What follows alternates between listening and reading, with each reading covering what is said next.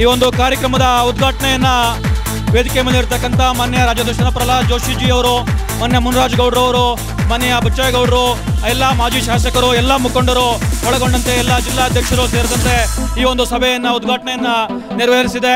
ಪಾದಯಾತ್ರೆಗೆ ಅಧಿಕೃತವಾಗಿ ಒಂದು ದೀಪ ಬೆಳೆಸುವ ಮುಖಾಂತರ ಚಾಲನೆಯನ್ನು ಕೊಟ್ಟಿರ್ತಕ್ಕಂಥ ನಮ್ಮೆಲ್ಲ ವೇದಿಕೆಯ ಮೇಲಿರ್ತಕ್ಕಂಥ ಗಣ್ಯರಿಗೆ ತುಂಬ ಹೃದಯದ ಧನ್ಯವಾದಗಳನ್ನು ಅರ್ಪಿಸ್ತೇನೆ. ಬಲ ಭಾರತ್ ಮತಕ್ಕೆ! ಬಲ ಭಾರತ್ ಮತಕ್ಕೆ! ಆ ಖಾಲಿ ಬಿಂದಿಗೆಗಳನ್ನ ಬಲ ಭಾರತ್ ಮತಕ್ಕೆ!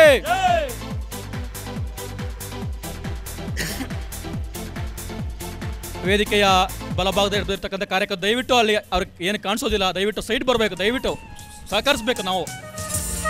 ದಯಮಾಡಿ ಸಹಕರಿಸಬೇಕು. ಕಾರ್ಯಕ್ರಮದ ಉದ್ಘಾಟನೆಯನ್ನು ಮಾಡಿದಂಥ ನಮ್ಮೆಲ್ಲ ಮುಖಂಡರುಗಳಿಗೆ ಧನ್ಯವಾದಗಳು. ಇದೀಗ ಕಾರ್ಯಕ್ರಮದ ಕಾರ್ಯಕ್ರಮವನ್ನು ಉದ್ದೇಶಿಸಿ ಬಿಜೆಪಿಯ ಯುವ ಮೋರ್ಚಾ ಅಧ್ಯಕ್ಷರಾದಂಥ ಮುನ್ರಾಜ್ ಗೌಡರು ಮಾತಾಡಬೇಕಂತೇಳಿ ಅವರಲ್ಲಿ ನಾನು ಮನವಿಯನ್ನು ಮಾಡ್ತೇನೆ ಮಾನ್ಯ ಮುನ್ರಾಜ್ ಗೌಡರು ಈ ಸಭೆಯನ್ನು ಉದ್ದೇಶಿಸಿ ಮಾತನಾಡ್ತಾರೆ. ಬಲ ಭಾರತ್ ಮಾತಾ ಕಿ. ನಿಮ್ಮ ಕೂಗು ಇಡೀ ಬಯಲುಸೀಮೆ ಕೇಳಿಸ್ಬೇಕು, ರಾಜ್ಯದ ಕಿವುಡು ಸರ್ಕಾರಕ್ಕೂ ಕೇಳಿಸ್ಬೇಕು. ಬಲ ಭಾರತ್ ಮಾತಾ ಕಿ. ಬಲ ಭಾರತ್ ಮಾತಾ ಕಿ.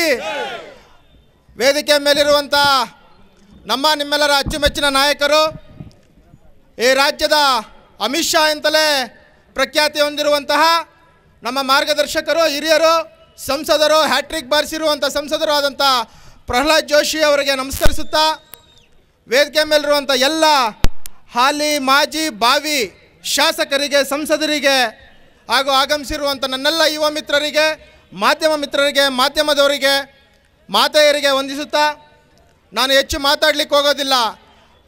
ನಾವು ಮೂರು ದಿನಗಳ ಕಾಲ ರಸ್ತೆಯಲ್ಲಿ ನಿಂತು ನಾವು ಯುವಶಕ್ತಿ ಏನು ಅಂತ ಪ್ರದರ್ಶನ ಮಾಡಲಿಕ್ಕೆ ಹೊರಟಿದ್ದೀವಿ.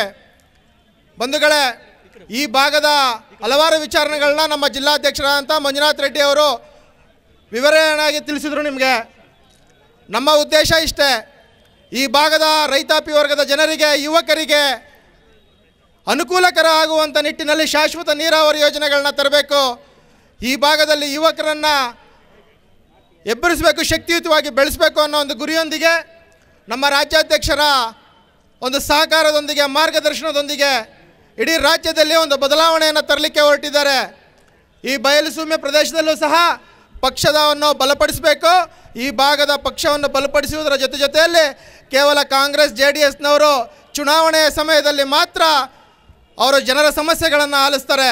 ಆದರೆ ಈ ಸಮಯದಲ್ಲಿ ನಮ್ಮ ರಾಜ್ಯಾಧ್ಯಕ್ಷರು ನಮ್ಗೆ ಹೇಳಿದ್ರು, ಯಾವುದೇ ಚುನಾವಣೆ ಇಲ್ಲದೇ ಇರೋಂಥ ಸಂದರ್ಭದಲ್ಲೂ ಸಹ ಕಟ್ಟ ಕಡೆಯ ವ್ಯಕ್ತಿಗೂ ಸಹ ಎಲ್ಲ ರೀತಿಯಾದಂಥ ಸವಲತ್ತುಗಳು ಸಿಗಬೇಕು. ಈ ಭಾಗದ ಜನರಿಗೆ ಶಾಶ್ವತ ನೀರಾವರಿ ಯೋಜನೆಗಳು ಬರಬೇಕು.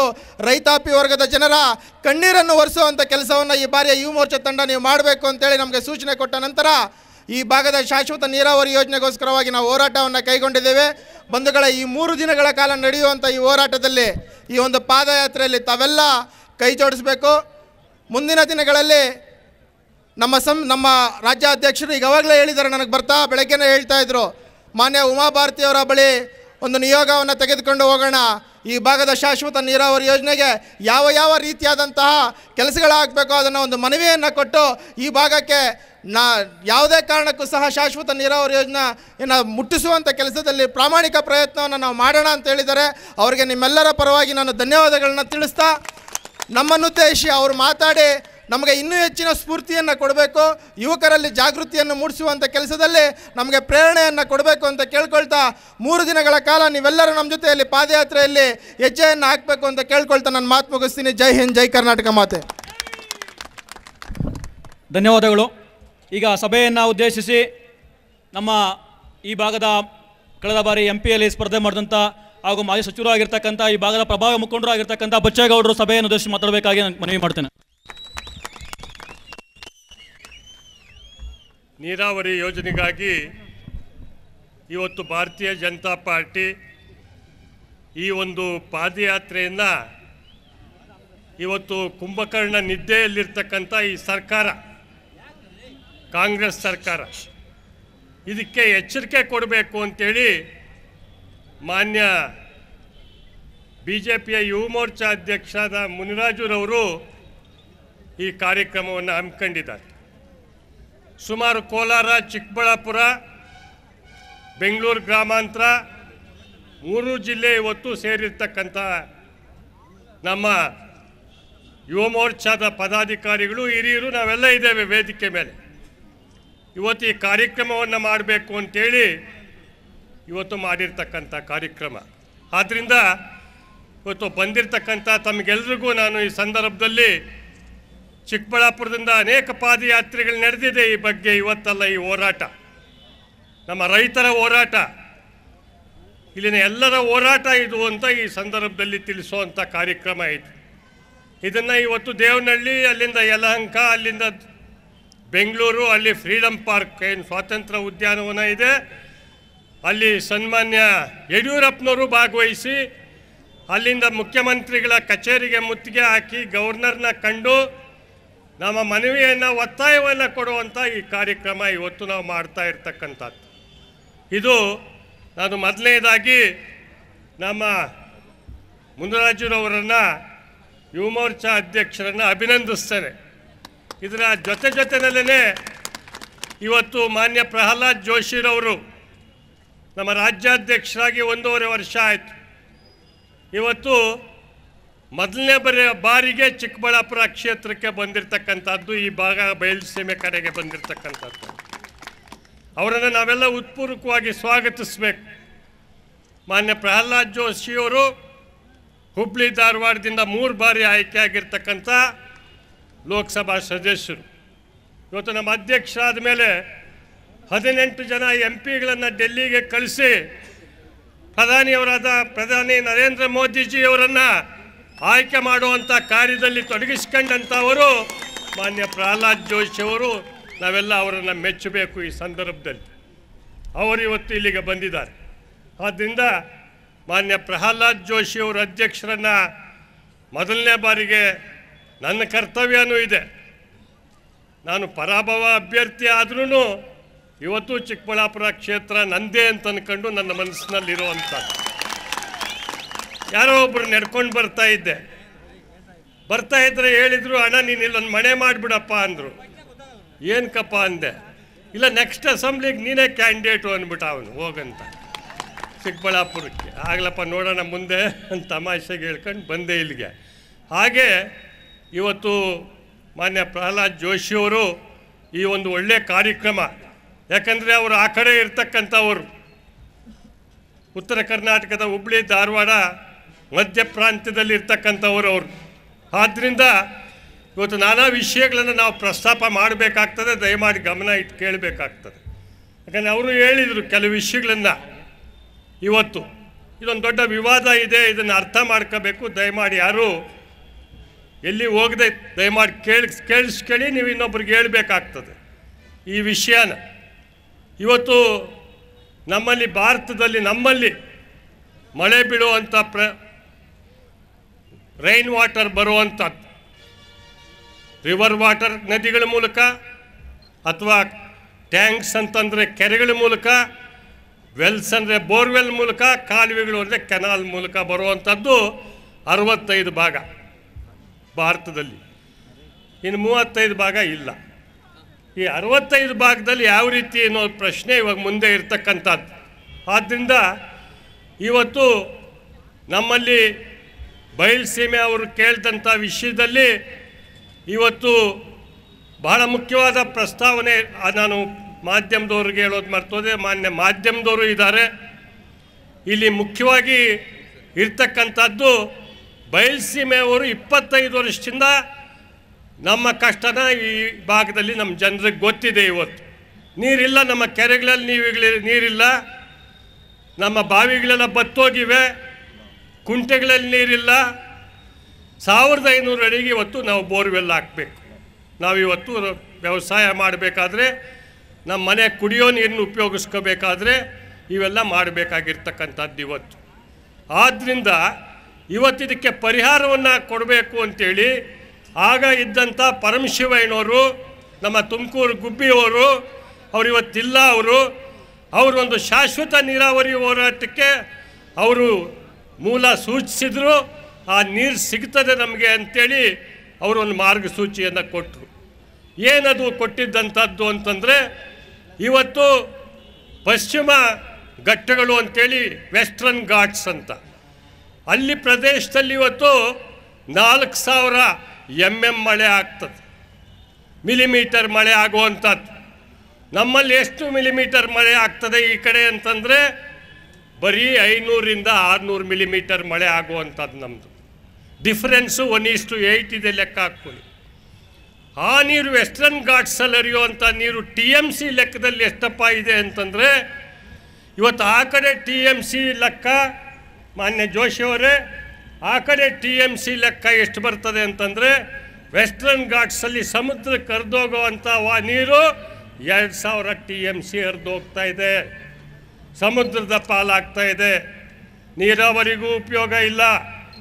ನಮ್ಮಲ್ಲಿರ್ತಕ್ಕಂಥ ಬೇಸಿನ್ಗಳು ಎಷ್ಟಪ್ಪ ಅಂತಂದರೆ ಒಂದು ಕೃಷ್ಣ ಕೊಳ್ಳದಲ್ಲಿರ್ತಕ್ಕಂಥ ಬೇಸಿನ್, ಎರಡನೇದು ಕಾವೇರಿ ಬೇಸಿನ್ನಲ್ಲಿರ್ತಕ್ಕಂಥದ್ದು ಹೇಮಾವತಿ ಆರಂಗಿ ಕಬಿನಿ ಮೂರನೇ ಬೇಸಿನ್ ಇರ್ತಕ್ಕಂಥದ್ದು ಗೋದಾವರಿ ಅಂತೇಳಿದರೆ ತುಂಗಭದ್ರಾದು ಇವೆಲ್ಲ ಸೇರಿದರೆ ನಮ್ಮದು ಸಾವಿರದ ಆರುನೂರ ನಲವತ್ತೈದು. ಈ ಕಡೆ ಎರಡು ಸಾವಿರ ಟಿ ಎಂ ಸಿ ಆ ಕಡೆ ಇರ್ತಕ್ಕಂಥ ನೀರು. ಆದ್ದರಿಂದ ಇವತ್ತು ಏನು ಇವತ್ತು ಆ ನೀರನ್ನು ತರಬೇಕು ಅನ್ನೋದನ್ನ ಕೇಳಿದರು ಮಾನ್ಯ ಜೋಶಿಯವರು ನನ್ನ ಮೊದಲನೇ ಬಿಡಿ ಸರ್, ಸ್ವಲ್ಪ ಬ್ರೀಫ್ ಮಾಡ್ತೀನಿ ನಿಮಗೆ ಅಂತಂದೆ. ಪಾಯಿಂಟ್ಸ್. ಯಾರು ನಮ್ಮ ನಿರೂಪಣೆ ಮಾಡೋರು ನನಗೆ ಕೊಟ್ಟರು ಆದ್ದರಿಂದ ಇದ್ರ ಬಗ್ಗೆ ಸಾಕಷ್ಟು ನಾನು ತಿಳ್ಕೊಂಡಿದ್ದೀನಿ. ಏನಿವತ್ತು ವಿರೋಧ ನಾವು ದಕ್ಷಿ, ಯಾರಿಗೂ ವಿರೋಧ ಮಾಡೋದಿಲ್ಲ ಇದರಲ್ಲಿ ಹೇಳಿದ್ದಾರೆ ಮುನ್ರಾಜು ಅವರು. ಯಾರು ವಿರೋಧ ಮಾಡೋಕ್ಕೆ ನಾವು ಹೋಗೋದಿಲ್ಲ ಯೋಜನೆಗಳಲ್ಲಿ. ಹೌದು, ನಾವು ಎಲ್ಲಿಂದ ನೀರು ತರಬೇಕು ಅಂತ ಕೇಳಿದರು. ಹೌದು ಪಶ್ಚ ಶಾಶ್ವತ ನೀರಾವರಿ ಹೋರಾಟಕ್ಕೆ ಸಾಕಷ್ಟು ಚಿಕ್ಕಬಳ್ಳಾಪುರ ಜಿಲ್ಲೆ ಎಲ್ಲರೂ ಸೇರಿ ನಾವು ಮಾಡಬೇಕು, ಪಕ್ಷಾತೀತವಾಗಿ ಮಾಡುವಂಥ ಕಾರ್ಯಕ್ರಮ ಇದು, ದಯಮಾಡಿ ತಿಳ್ಕೋಬೇಕು. ನಮ್ಮ ಬದುಕಿನ ಪ್ರಶ್ನೆ ಇದು ಇವತ್ತು. ರೈತರ ಬದುಕಿನ ಪ್ರಶ್ನೆ. ಯಾರಿಗೋ ಮೆಚ್ಚುಗೆಗೆ ನಾವು ರಾಜ, ಕಾರ್ಯಕ್ರಮ ಮಾಡ್ತೀರಿ ಅನ್ಬೇಡಿ, ಅನ್ಕೋಬೇಡಿ. ಮುಂದಿನ ನಾವು ಉಳ್ಕೋಬೇಕು. ಇಲ್ದಿರ ಮರಳುಗಾಡು ಆಗ್ತೇವೆ ನಾವು ಈ ಜಿಲ್ಲೆಗಳು. ಮೂರು ಜಿಲ್ಲೆ ಹೇಳ್ತಾ ಇಲ್ಲ. ನಲವತ್ತ್ಮೂರು ತಾಲೂಕುಗಳ ಬಗ್ಗೆ ಮಾತಾಡ್ತಾ ಇದ್ದೇನೆ. ಐದು ಜಿಲ್ಲೆಗಳು ನಮ್ಮ ತುಮಕೂರು ಬರ್ತದೆ, ರಾಮನಗರ ಬರ್ತದೆ. ಇವತ್ತು ಐದು ಜಿಲ್ಲೆಗಳ ಜನ, ನಾವು ಒಂದು ಕೋಟಿ ಜನ ಇದ್ದೇವೆ ಇವತ್ತು. ಪಟ್ಟಣಗಳು ಸೇರಿದರೆ ಆರು ಕೋಟಿ ಇಪ್ಪತ್ತೈದು ಲಕ್ಷ ಜನ ಈ ರಾಜ್ಯದಲ್ಲಿ ಇರ್ತಕ್ಕಂಥವರು ಒಂದು ಕೋಟಿ ಜನ ಇದ್ದೇವೆ ನಾವು. ಇವತ್ತು ನಾವು ರೈತರು ಇರ್ತಕ್ಕಂಥದ್ದು, ಎಲ್ಲರೂ ಸೇರಿದರೆ ಒಂದು ಕೋಟಿ ಜನ. ಪಟ್ಟಣಗಳಿವೆ, ಒಂದು ಕೋಟಿ ಜನ ಇದ್ದೇವೆ. ನಮ್ಮ ಪಾಲು ಏನೂ ಇಲ್ಲ ಇವತ್ತು. ಇವತ್ತು ಅಸೇ ಅನೇಕ ಜನಪ್ರತಿನಿಧಿಗಳು ಮಾತಾಡ್ತಾನೆ ಇದ್ದಾರೆ. ಹೌದು, ಏನು ಮಾಡ್ತಾ ಇದ್ದೀರಿ, ಏನು ಮಾಡಿದ್ರು ಅಂತೇಳಿ. ಇದಕ್ಕೆ ತಾಂತ್ರಿಕವಾಗಿ ಸರ್ಕಾರಗಳು ಯೋಚನೆ ಮಾಡಬೇಕಾಗ್ತದೆ. ಅದಕ್ಕೆ ಒಂದು ನೀತಿ ನಿರೂಪಣೆ ಮಾಡಿ ಇವತ್ತು ಏನು ದಕ್ಷಿಣ ಘಟ್ಟಗಳ ಅಂದರೆ ನಮ್ಮ ರಾಜ್ಯದಲ್ಲಿರ್ತಕ್ಕಂಥ ಪರಿಸ್ಥಿತಿ ಇವತ್ತು ಮೂರು ಥರ ಒಂದು ಭಾಳ ವೆಸ್ಟರ್ನ್ ಘಾಟ್ಸಲ್ಲಿ ಮಳೆ ಬೀಳುವಂಥ ಜಾಗಗಳು. ಎರಡನೇದು ಮಲೆನಾಡು, ಮೂರನೇದು ಅರೆಮಲೆನಾಡು ಸೆಮಿ ಮಲೆನಾಡು ಅಂತ. ಈ ಮೂರು ಥರ ತೆಗೆದ್ರೆ ನಮ್ಮಲ್ಲಿ ಇರ್ತಕ್ಕಂಥ ನೀರನ್ನು ಉಪಯೋಗಿಸ್ಕೊಳ್ಳೋಕೆ ಮಾರ್ಗ ಯಾವುದು ಅಂತ ಮಾನ್ಯ ಜೋಶಿ ಅವರು ಕೇಳಿದ್ರು. ಹೌದು, ಎತ್ತಿನ ಹೊಳೆ ನಮ್ಮ ಕಾಲದಲ್ಲೇ ಆದಂಥದ್ದು. ಸದಾನಂದ ಗೌಡರು ಮುಖ್ಯಮಂತ್ರಿಗಳಾಗಿದ್ದರು ಮಾನ್ಯ ಯಡಿಯೂರಪ್ಪನವರು ಆ ಯೋಜನೆ ಬಗ್ಗೆ ಭಾಳಷ್ಟು ಚರ್ಚೆ ಮಾಡಿದರು ಅಸೆಂಬ್ಲಿಗಳಲ್ಲಿ. ಸುಮಾರು ಇಪ್ಪತ್ತ, ಇಪ್ಪತ್ನಾಲ್ಕು ಇಪ್ಪತ್ತೈದು ಟಿ ಎಂ ಸಿ ವಾಟರ್ ಸಿಗ್ತದೆ ಅಂತೇಳಿ. ಆಗ ಸರ್ವೆ ಕಾರ್ಯ ಮಾಡಿ, ಇವೆಲ್ಲ ಮಾಡಿ ಇವತ್ತು ಅದಕ್ಕೆ ಎಂಟು ಸಾವಿರ ಕೋಟಿ ರೂಪಾಯಿ ಅನುದಾನ ಇಟ್ಟರು ಮಾಡಬೇಕು ಅಂತೇಳಿ. ಆವತ್ತು ಶಾಶ್ವತ ನೀರಾವರಿ ಯೋಜನೆ ಬಗ್ಗೆನೂ ಇನ್ನೂ ಹಾಗೆ ಇದೆ, ಪ್ರಸ್ತಾಪ ಅದೇನು ಮುಕ್- ಮುಕ್ತಾಯ ಆಗಿಲ್ಲ ಇವತ್ತು. ನಮ್ಮ ಒತ್ತಾಯ ಈ ಯೋಜನೆನೂ ಆಗಲಿ ನಾವೇನು ಬೇಕಾ ಬೇಡ ಅಂತ ಹೇಳೋದಿಲ್ಲ.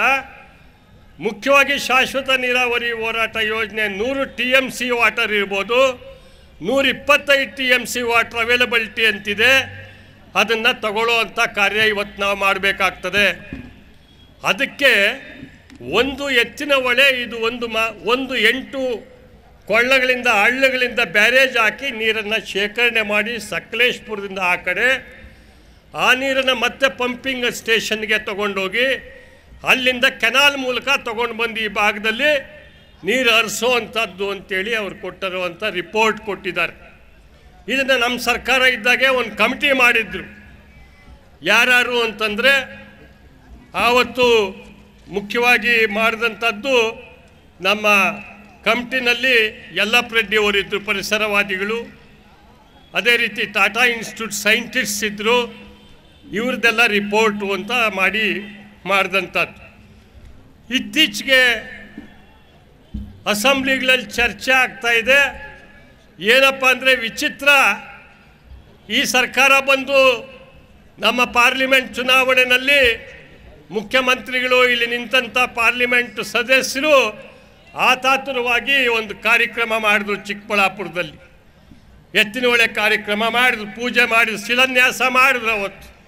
ತಂದ್ಬಿಡ್ತೇವೆ ನಾವು ಯೋಜನೆನ ಅಂತೇಳಿ ಹಣ ಕೊಡ್ತೇವೆ ಅಂತೇಳಿ ಯೋಜನೆಗೆ ಇನ್ನೂ ನಾಲ್ಕು ಸಾವಿರ ಕೋಟಿ ಜಾಸ್ತಿ ಮಾಡಿ ಹನ್ನೆರಡು ಸಾವಿರ ಕೋಟಿ ರೂಪಾಯಿ ಅಂತೇಳಿ ಇವತ್ತು ಆ ಯೋಜನೆನ ಜಾಸ್ತಿ ಮಾಡಿದೆ. Tender ಕರೆದಿಲ್ಲ D P R detail project report ಇಲ್ಲ ಹೈಡ್ರಾಲಿಕ್ ಸರ್ವೆ ಇಲ್ಲ, ಯಾವ ಕಾರ್ಯನೂ ಇವತ್ತಿಗೆ ಮಾಡಿಲ್ಲ.